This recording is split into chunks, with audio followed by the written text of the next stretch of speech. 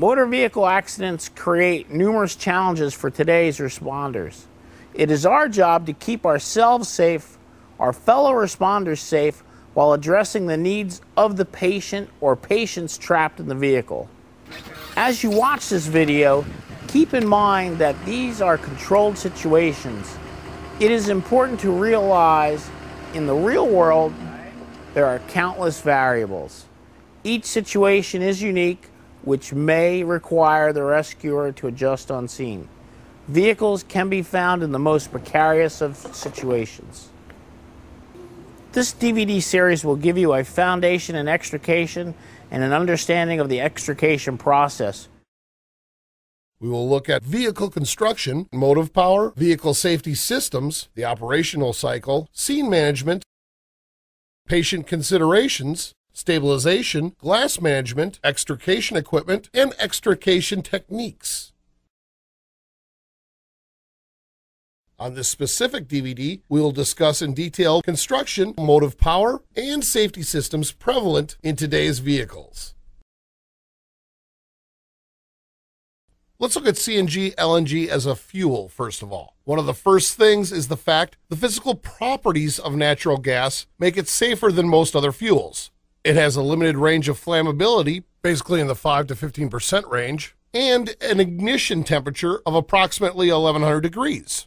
This is actually greater than both ranges for gasoline and diesel fuel. Fuel density is lighter than air, so in the event of a leak, the gas will rise and disperse into the air. And lastly, natural gas is non toxic. Many people confuse CNG and LNG.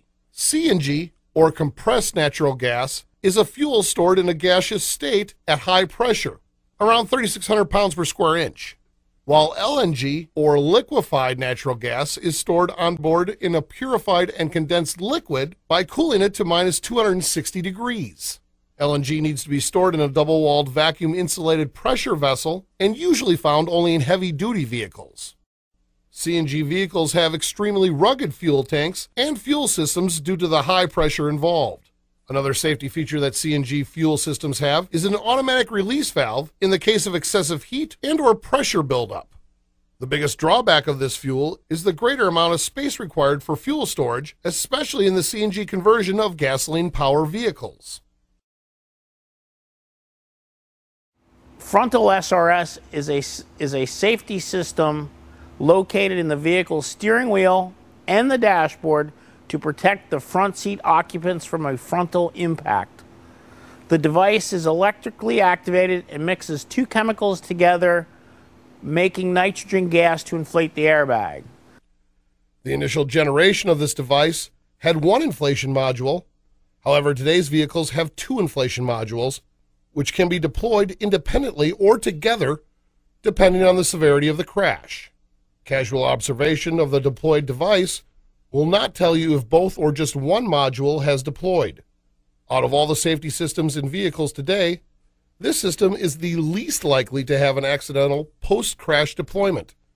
However, we still need to use caution working around these, even if we observe that it has deployed.